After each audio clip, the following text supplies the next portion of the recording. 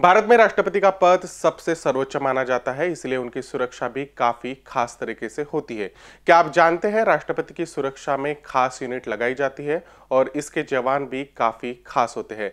ऐसे में आज जानते हैं कि किस तरह से राष्ट्रपति की सुरक्षा में लगे जवान खास होते हैं और राष्ट्रपति को किस तरह से विशेष सुरक्षा दी जाती है। जानिए राष्ट्रपति की सुरक्षा से जुड़े हर एक बात। राष्ट्रपति को कमांडर इन चीफ का दर्जा मिला है और वह देश की तीनों सेनाओं इंडियन आर्मी एयरफोर्स और नेवी के मुखिया होते हैं। उनकी सुरक्षा में जो सुरक्षाकर्मी तैनात होते हैं, उन्हें प्रेसिडेंट्स बॉडीगार्ड यानी पीबीजी कहते हैं। यह भारतीय सेना की घुड़सवार रेजिमेंट का हिस्सा होते हैं। साथ ही यह सेना की सर्वोच्च यूनिट होती है। इनका प्राथमिक रोल राष्ट्रपति की सुरक्षा करना और हर पल उनके साथ चलना है। यह यूनिट राष्ट्रपति भवन में बेस्ट होती है। वर्तमान समय में राष्ट्रपति की सुरक्षा में जो बॉडी गार्ड्स तैनात हैं, उनमें सेना की जाट, सिख और राजपूतों को प्राथमिकता दी जाती है। यह सैनिक हरियाणा, पंजाब और राजस्थान से आते हैं।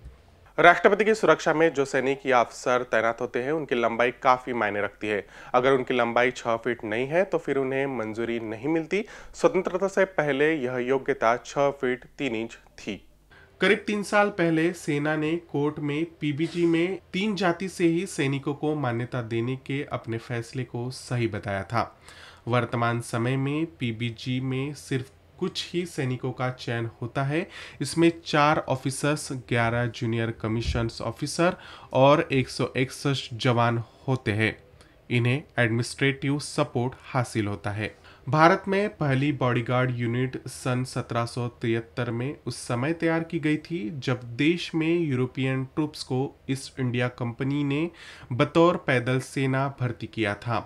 उस समय वॉरेन हॉस्टिंग्स गवर्नर जनरल थे और उन्होंने ही सितंबर सत्रह सौ तिहत्तर में इसका गठन किया था। हॉस्टिंग्स ने मुगल हाउस में 50 ट्रुप्स को इसके लिए चुना था। इसके बाद सन 1760 में सरदार मिर्ज़ा शानबाग खान और खान तार बेग ने इसे आगे बढ़ाया। बता दें कि वर्तमान में राष्ट्रपति की सुरक्षा करने वाले जवानों की संख्या एक सौ छिहत्तर है। इसमें चार ऑफिसर्स 11 जूनियर कमीशंस और एक सौ इकसठ जवान हैं। आपको जानकर हैरानी होगी कि राष्ट्रपति की सुरक्षा करने वाले जवान हरियाणा, पंजाब और राजस्थान से ही आते हैं।